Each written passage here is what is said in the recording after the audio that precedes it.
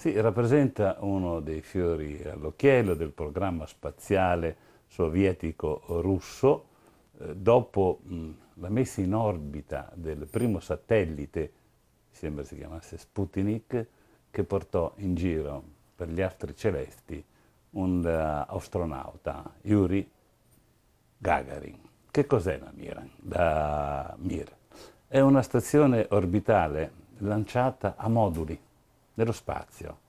Lanciata a moduli, poi l'hanno messo assieme, l'hanno assemblata gli uomini che, hanno, che l'hanno raggiunta. Ebbene, è stato il primo avamposto di vita, almeno la nostra, in mezzo allo spazio.